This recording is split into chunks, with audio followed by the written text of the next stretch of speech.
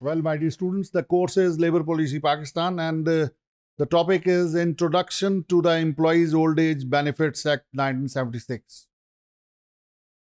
My dear students, ये जो employees old age benefit institution है ये ओल्ड एज बेनिफिट्स को कवर करता है और सोशल इंश्योरेंस को कवर करता है जो कि गवर्नमेंट ऑफ़ पाकिस्तान के तहत ऑपरेट करता है।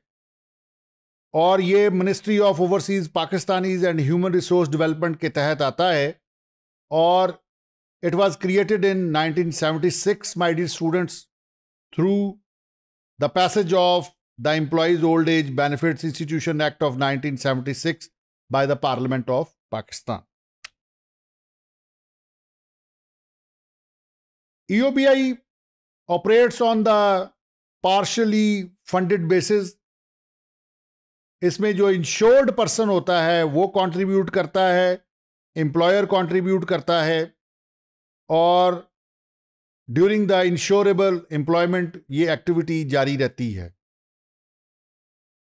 Employers are suppose to pay five percent of the minimum wages prescribed by the government while employees are supposed to pay 1% of the minimum wages. So, my dear students, this contribution constitutes half of the total contribution, while remaining half comes from the government of Pakistan. Government of Pakistan, my dear students, contributed to this scheme till 1995, but withdrew thereafter. My dear students जो contribution आती है, वो employers की तरफ़ से आती है employees की तरफ़ से आती है गवर्नमेंट की तरफ़ से आती है, और इसके साथ साथ जो ई e है, वो अपने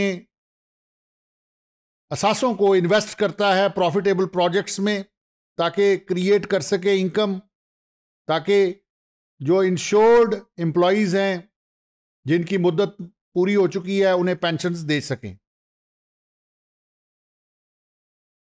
माय डियर स्टूडेंट जो इंश्योर्ड पर्सन है, वो जब साठ साल का होता है तो फिर उस, वो एलिजिबल हो जाता है कि उसको पेंशन दी जाए। और पंद्रह साल की जो इंश्योरेबल सर्विस है, वो गुजारना इस निबंध में उसका ज़रूरी होता है। Now let's discuss what is old age pension this pension is provided in an event of retirement my dear students दूसरी जो पेंशन है, वो सर्वाइवर्स पेंशन है।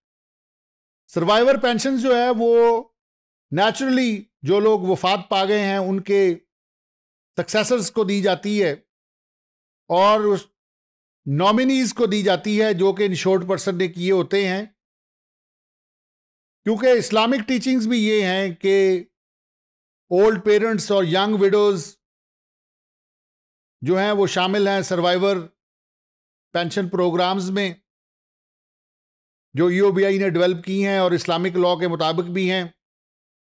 My dear students as per E B I rules parents of the unmarried employee gets pension for five years in case of employees death if an employ dies after thirty six month of E O B I insurable service his widow gets the survivors pension for the entire life my dear students Dear students, children of the deceased insured individuals are eligible to get the EOBI survivor pension even if the widow of the insured employees gets remarried. Given the stepfather of the children may not take the financial responsibility of the children. This is survivor's pension. Now let's move on to discuss what is invalidity pension. This pension is provided in case of disability of the insured person, my dear students. EOBI also gives old age grants. Old age grants जो हैं वो super एनुएशन की as per दी जाती हैं my dear students minimum pension जो है वो आजकल जो दी जा रही है वो सिक्सटी फाइव हंड्रेड रुपीज़ है और average income distributed by the pension scheme is very low which grew from rupees triple eight to rupees 1000 per month in a year 2006 and 7